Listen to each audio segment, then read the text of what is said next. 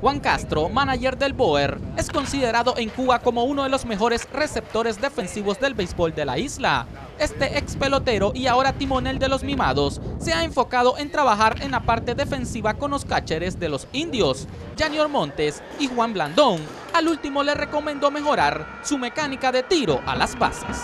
Eh, la cuestión de, llevar la mano al guante hacia la, hacia la mano de tirar, entonces llevarlo un poco alto.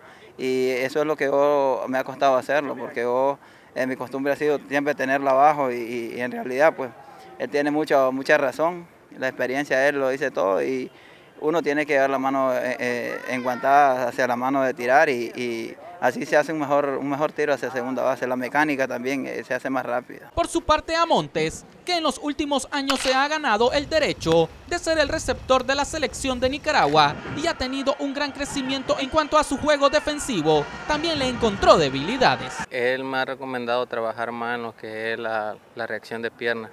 Eh, eso me va a ayudar a sacar este, más rápido la bola del guante para, sacar los corredores en la base y eso es lo que hemos estado haciendo que nos han tomado el tiempo para saber cuánto estamos haciendo pues, con los tiros a segunda y, eso ha beneficiado también un poco más a lo que es mi defensiva y pues ahora vamos a tratar de ponerlo en práctica a la hora que, que se diga el play ball.